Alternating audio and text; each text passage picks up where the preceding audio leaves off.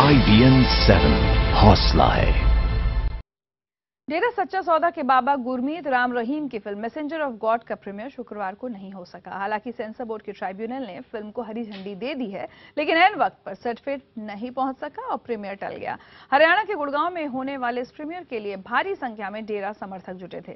Film को लेकर ज़बरदस्त सियासत चल रही है। अकाल तख्त, पंजाब की बादल सरकार, हरियाणा में इंडियन नेशनल लोकदल, इसके विरोध में है। विरोध के मद्देनजर पंजाब और हरियाणा में सुरक्षा के पुख्ता इंतज़ाम किए गए हैं।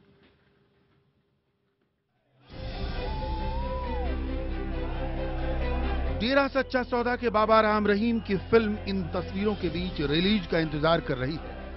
एक तरफ़ हज़ारों समर्थक हैं जो फ़िल्म को हरी झंडी के बाद खुशियाँ मना रहे हैं तो दूसरी तरफ़ फ़िल्म का विरोध करने वाले भी एकजुट हो रहे हैं। इसी कश्मकश में शुक्रवार को तमाम सुरक्षा इंतजामों के बावजूद गुड़गांव में होने वाला फ़िल्म का प्रीमियर टाल दिया गया। प्रीमियर क्यों टला?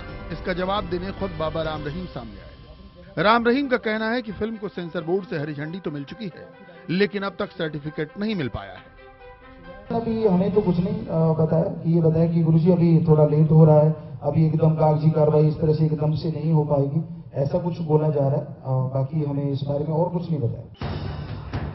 इसके पहले एमएसजी का विरोध कर रहे इंडियन नेशनल लोकदल के कार्यकर्ताओं ने गुड़गांव में ज़बरदस्त प्रदर्शन किया। हंगामा रोकने के लिए पुलिस को 100 से ज़्यादा कार्यकर्ताओं को गिरफ़्तार करना पड़ा। गुड़गांव ही नहीं, दिल्ली, अमृतसर, अंबाला, लुधियाना, भटिंडा और हिसार समेत कई जगहों पर फ़िल्म के विरोध में प्रदर्शन हो रहा है। शिरोमणि अकाली दल, हरियाणा सिख गुरुद्वारा प्रबंधक कमेटी और अकाल तख्त सभी राम रहीम के फ़िल्म का विरोध कर रहे हैं।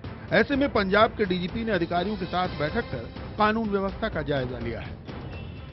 वैसे लगातार विरोध को देखते हुए पंजाब हरियाणा के कई सिनेमा हॉल फ़िल्म की स्क्रीनिंग से कतरा भी रहे ये जो एम फ़िल्म है, इसको हम सब लगाना चाहते थे, पर हमारी एसडीएम साहब से मीटिंग हुई और हम सबने उनको मना कर दिया है, क्योंकि इसमें दंगे होने की संभावना है और हमें, हमारा भी दिल करता है हम पैसे कमाएँ पर हम इसी वजह से नहीं लगा रहे कि किसी को जान का खतरा ना हो।